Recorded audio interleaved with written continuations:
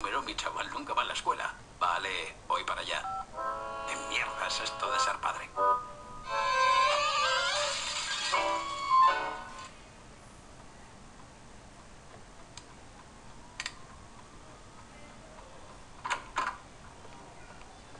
¿Quién coño es toda esta peña? Siéntese y permanezca callado, señor Spencer. Estos son los Milligan, Juni Darren y sus dos hijos, Billy y Darryl. Encantado. ¿Quiere meterle caña? Tengo el culo lleno de pasta y otra cita urgente que me espera. Creía que ya nos habíamos deshecho de esa escorial llamada Kevin Spencer, pero veo que me equivocaba.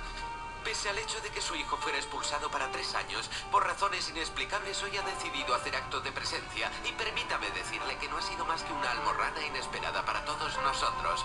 En concreto ha agredido físicamente al pobre puesto la cafetería patas arriba y aparte de a Darryl, el hermano mayor de Billy, ha amenazado a otros estudiantes. Sí, señor, ese es mi machote. ¿Eso es todo lo que tiene que decir?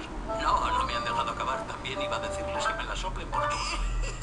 Señor Spencer, bajo ningún concepto voy a permitir esta clase de lenguaje en mi despacho.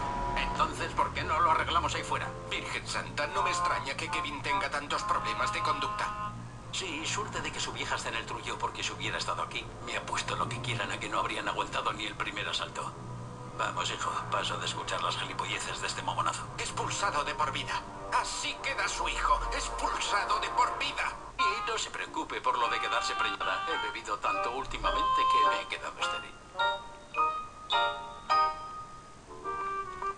Ya nos veremos, perturbado. Tengo que darle a tu vieja la pasta de un chantaje para que no me vuelvan a meter en el talego.